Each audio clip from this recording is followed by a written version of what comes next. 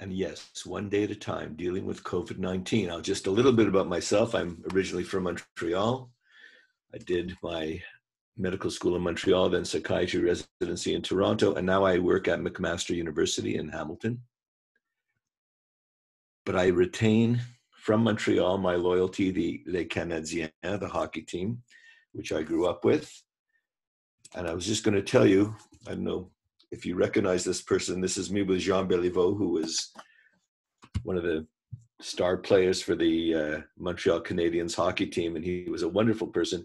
He passed away a few years ago. He was quite iconic in Montreal, but he was uh, one of these truly humble, nice person. He had come to Hamilton, which is where I met him to do a pro bono charity event. So this is the enemy. I think I, I have a feeling we've all seen this slide before, once or twice or a hundred times. This is the enemy and this is hard. Uh, it's okay to acknowledge what most of us feel. This is hard. This is hard stuff. And feeling stressed does not mean we're not coping well. As we've been hearing about by uh, Sandra, it's a normal human response, especially now. And what we want to try and do is manage our stress effectively so our stress, which is normal, does not become distress. And we're all under some stress now. Winston Churchill, I just like this quote that he, I like a lot of his quotes, but he had one when you're going through hell, keep going. Sometimes one foot in, the, in front of the other, keep going is really helpful. And Bob Dylan, who I grew up with when I was a kid, in one of his songs talked about the times they are a changing. And yes, we are living in those times now. I think we know that. Uh, this is um, I'm going to quote the five C's, and this is from an article from that I read who that was written by Mamta Gautam, uh, who's a psychiatrist in Ottawa, and uh, I, have kind of uh, added to this and shifted a little bit. I based uh, some of what I'm saying on on on this useful article I thought she wrote with the five C's: control, commitment, connections, calming, and care for self. The five C's. So starting with control some problems we can control and some issues we can control.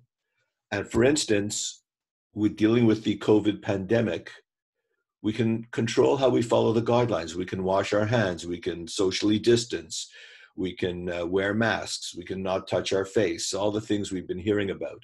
So these are all things that we can control. That's instrumental stuff, but also just trying to be as positive we can be, being as kind as we can be in these times of stress, trying to enjoy times at home. There's some things that we can kind of work on ourselves that we can control, and that's kind of called problem focused coping, where we can somewhat change the problem by because uh, some of it is in our control.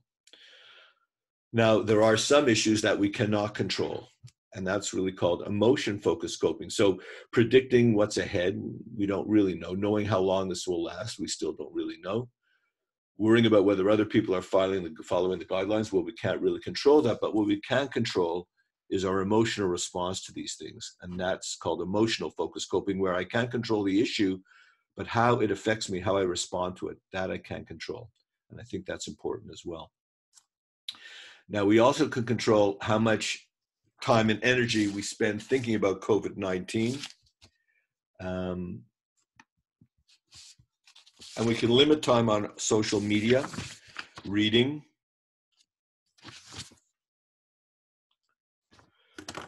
Getting blocked here. I'm trying to see if I can remove. Anyway, I can't. Um, whoops. Sorry about that. Oh.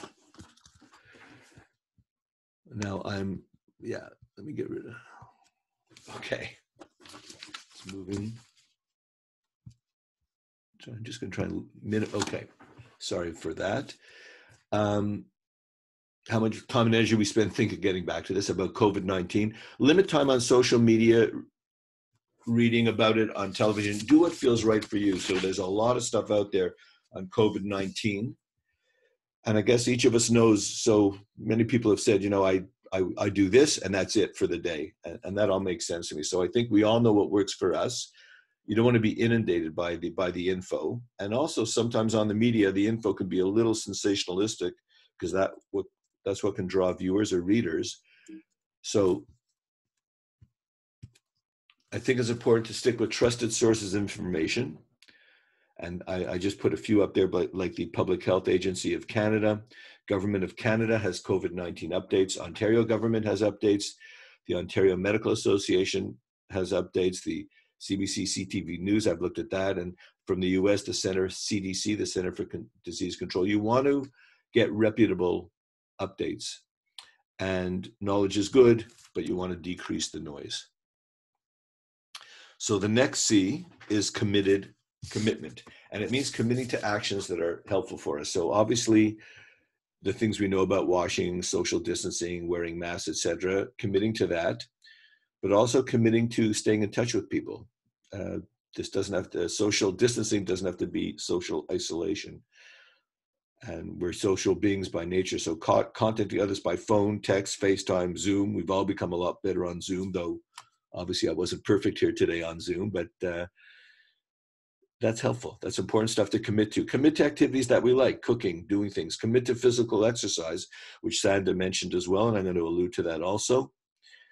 Um, meaningful activities for you. Whatever gives you some peace and joy commit to that. And just self-kindness. Commit to being kind to yourself. Give yourself a break. It's these are tough times and for all of us and it's important to be kind to oneself as well as to others. Um, if you are fortunate enough to maintain a workplace or a virtual workplace and I am able, thankfully, to be able to do some virtual things, but I can I can still speak to people online from my colleagues at work. But you can offer to help people, ask for help, share resources. I've learned a lot from other people about what's useful, how to get things from where. Lots of useful information. And again, this the C of connecting is, and sometimes you have to make sure, but but plan to spend time with your family, people that you love, enjoy family meals together, watch movies, dance, play board games, whatever works. If you're living alone, you can still stay connected to family and friends by phone, emails, FaceTime, Zoom, etc. Use technology as you are able to. And remember, don't underestimate the phone. It remains a very important connective, connected instrument. Again, connections. Social distancing should not mean social isolation reach out to people who you love and who love you. Reach out to those who are alone and isolated. We can be very helpful for many people. Offer to help others if you can. Some people you can you can buy groceries pick up something at the pharmacy. Just listening to people reassuring people. So connecting to people friends family etc and being helpful very important in terms of connectedness. The next c is calming.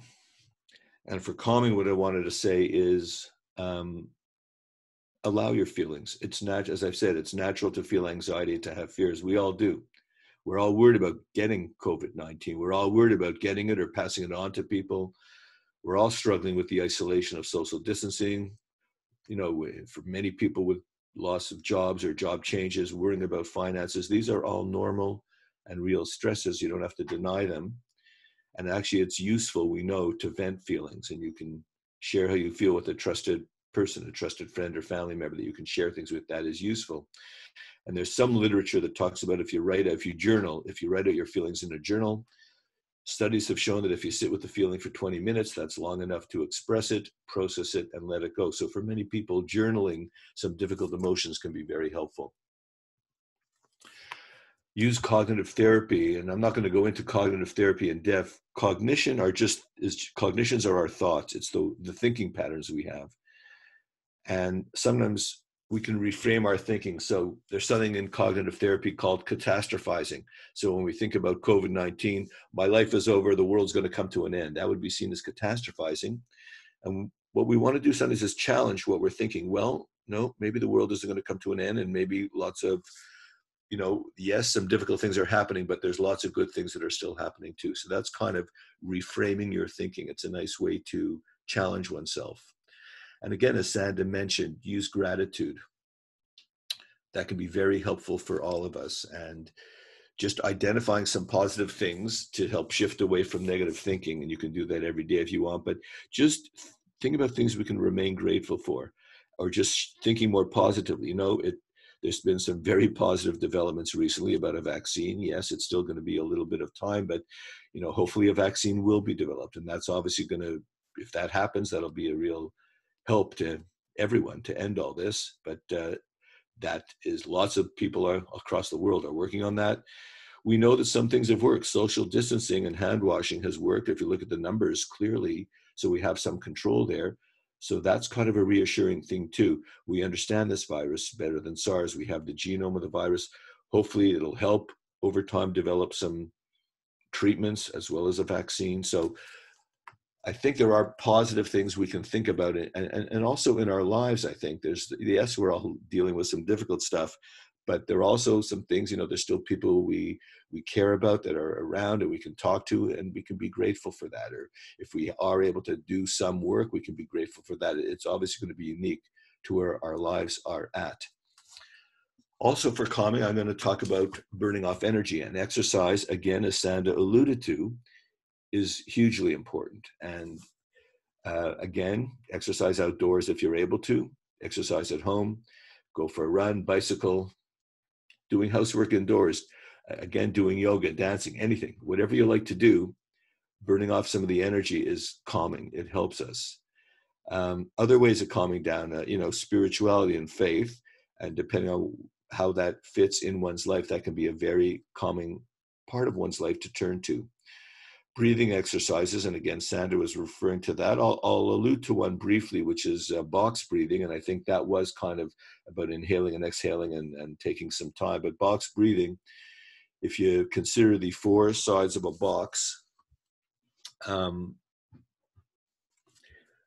so four sides of a square, let's say you, the first side is you inhale and you say the word relax to yourself, and at end inhalation, end inspiration, you count, you hold the inspiration, you count one, two, three, four. That's the second side of the box. Then you exhale and you say the word relax to yourself. That's the third side. And then at end expiration, you count one, two, three, four. In other words, slightly hold your breath at the end or let don't breathe in right away. That's called box breathing. That can be very helpful. And you can do three or four box breathings in a row anytime you feel like it or anytime you feel stressed out.